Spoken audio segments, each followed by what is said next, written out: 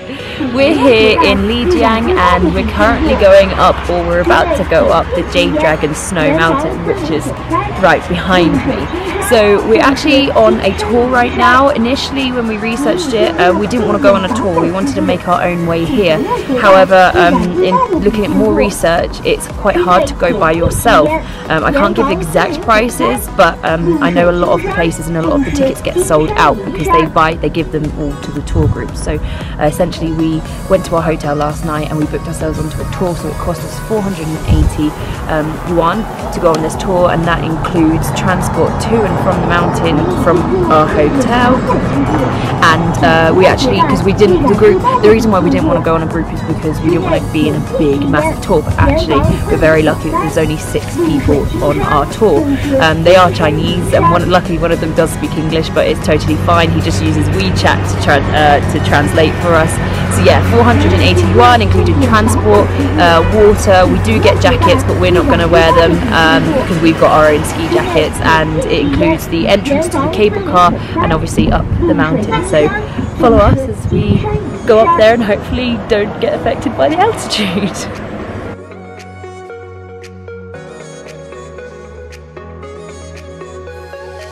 So when you arrive at the car park, uh, there's lots of people trying to sell you stuff. So they literally run over immediately trying to sell you gloves, socks, saying it gets cold up there. So make sure you bring your stuff before. Don't buy that because it can be quite expensive. Um, and yeah, we've got our own. So hopefully we'll be warm. Go, go,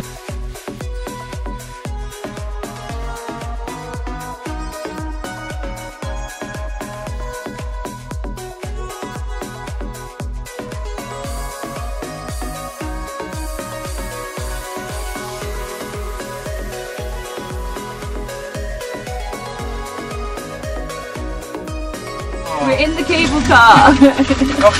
Oh,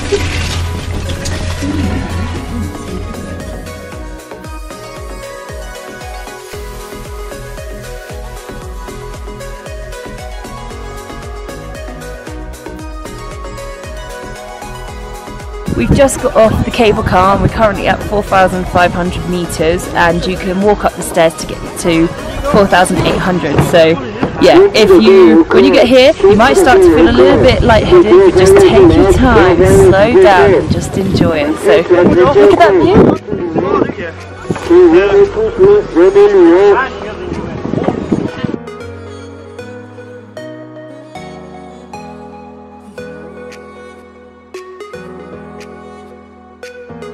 So sometimes the wooden path to get up to the top actually is closed due to high winds or too much snow and uh, today we're very lucky. It's a beautiful day so we're heading up and you can see I'm out of breath.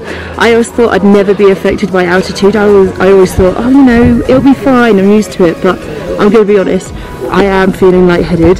I am out of breath slow. So when you come up here make sure you eat snacks drink lots of water. Those are the two most important things and take your time. So that's what we're doing right now. Take our time we're going to try and get to the top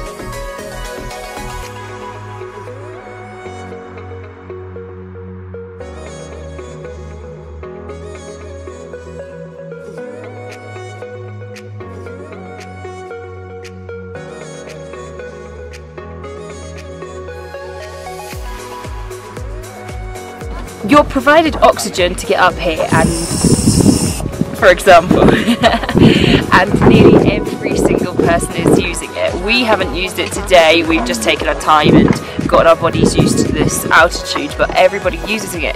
But the frustrating thing is that they just leave the cans the empty cans on the floor.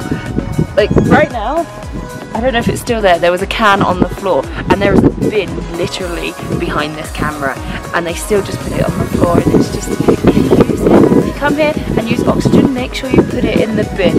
That's the best thing for the environment and it's just common courtesy. But yeah, you can make it up here, you can do it easily fine without any oxygen, or if you want oxygen, your tour guide will usually give it to you if you go with a tour. If you go by yourself, you can hire oxygen, there's guys walking around, um, and there's little stands that also uh, are selling oxygen. So it's your choice, but just enjoy it.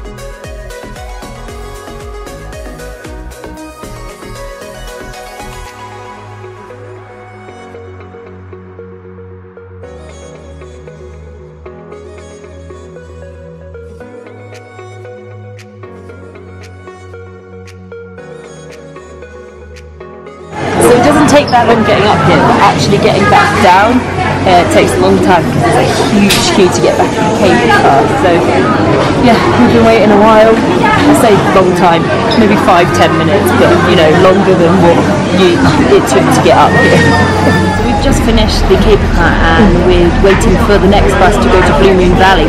Not sure what it's going to be like, but really excited.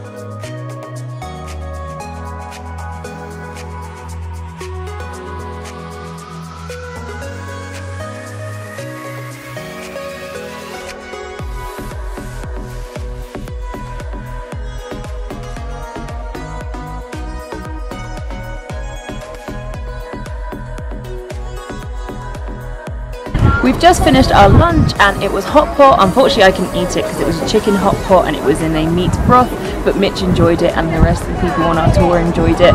I just had some rice and vegetables but now we're to go uh, explore the Blue Valley and hopefully get some good photos.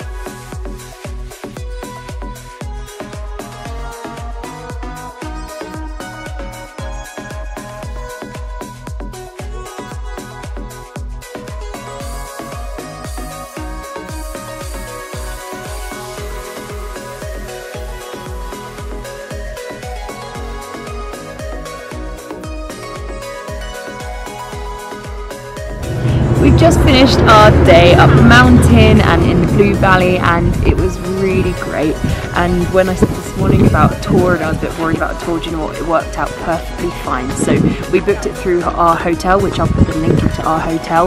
It was really reliable, there was only six of us and basically you had as much time as possible to do whatever you wanted. So it's been so beautiful, so nice, I really enjoyed it. So put it on your list to visit.